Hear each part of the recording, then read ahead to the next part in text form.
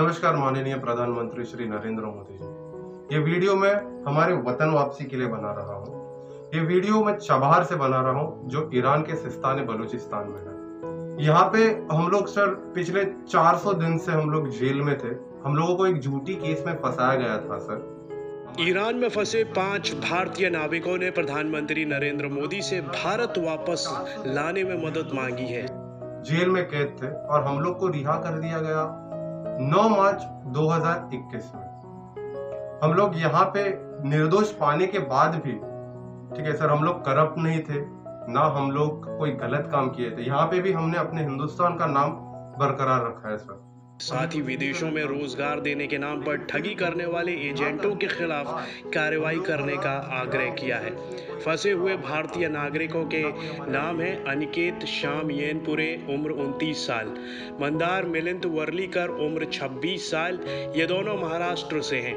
उत्तराखंड के नवीन सिंह, उम्र 26 साल। बिहार के प्रणव कुमार, उम्र 22 साल, और तमिलनाडु के थमिज सेलवन रेंगासामी उम्र 30 साल। मैं मदन सिंह बोल रहा हूँ, और मेरा लड़का नवीन सिंह ईरान में डेढ़ साल से फंसा है, और मैं मोदी जी से प्रार्थना करता हूँ कि मेरे लड़के को जल्दी से जल्दी बाहर निकाला जाए, और मैंने विदेश मंत्रालय और पीएम हाउस और सब जगह लेटर डाले, मेरे पास आज तक कोई जवाब नहीं आया, और वहाँ मेरा लड़का चार चार सौ दिन जेल में रहा और वहाँ ईरान गवर्नमेंट ने उनके रहने खाने की कोई व्यवस्था नहीं करी, ना उनके डॉक्यूमेंट दिए और उनके मतलब कोई हाल चाल लेने वाला कोई नहीं।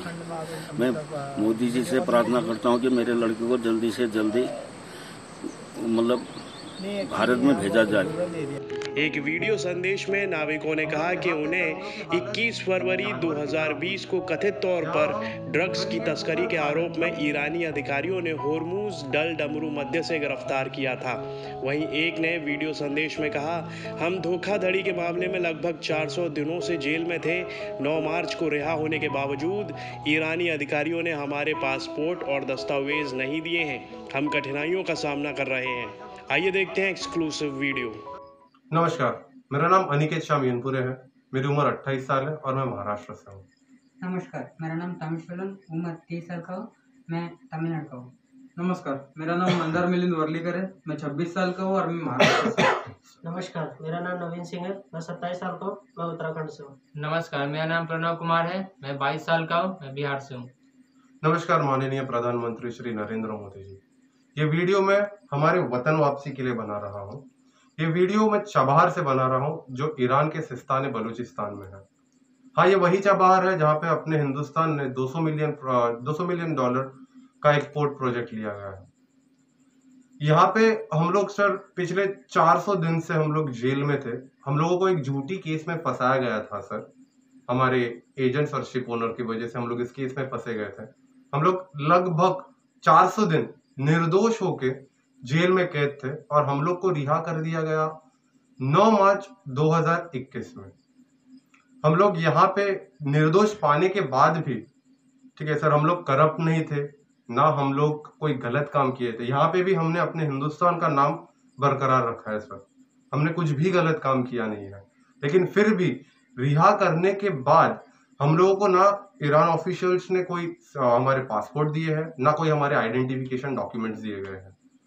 हम लोग यहाँ पे सर, हम लोग की हालत एक जानवर की तरह हुई है, जहाँ हम गली के ठोकर खा रहे हैं। ना हमारे हाथ में पैसा है, ना हमारे पास कुछ भी नहीं है सर।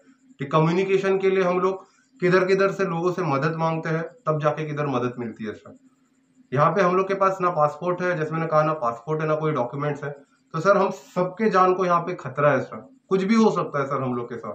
बिकॉज़ जब हम लोग को रिहा कर दिया गया सर तब ईरान ऑफिशियल्स ने ना अपने एम्बेसी को कोई इन्फॉर्म किया, ना कोई डॉक्यूमेंट्स दी, ना उन्हें कोई सूचना दी। और इसी दौरान हम लोग के पास कोई पैसे भी नहीं थे, ना कोई डॉक्यूमेंट्स है। मतलब जहाँ जाके हम लोग कुछ लैंड जॉब करे सर, कुछ ज़मीन पे काम करे थोड़ा बहुत पैसा कमा सके हम लोगों के लिए। लेकिन ऐसा कुछ भी नहीं ना, क्योंकि हम लोग के पास डॉक्यूमेंट्स ही नहीं है, सर। यहाँ पे, सर, मैं एक और बात आपको कहना चाहूँगा कि ये जो इंडियन एजेंट्स हैं, ये हम जैसे बच्चों को फंसा के ईरान में भेज देते हैं। जैसे हम लोग के साथ, सबके साथ हुआ है सर हम लोग को फंसा के यहाँ भेजा गया है। तो आपसे ये विनती है कि ये इंडियन एजेंट इंडियन एजेंटों के साथ भी सर उनके ऊपर आप कोई सख्त से सख्त कार्रवाई कर लो सर ताकि हम लोगों की तरह आगे में कोई यहाँ फंसे नहीं। क्योंकि सर हम लोग की हालत यहाँ पे बहुत बहुत खराब है। मैं मैं आपको हाथ जोड़ के विनती करता हूँ सर कि हम लोग की वतन वापसी कर दो। प्लीज़ सर बिकॉज़ यहाँ पे हम लोग की हालत बहुत ज़्यादा खराब है। दिन ब दिन दिन ब दिन खराब होते जा रही है।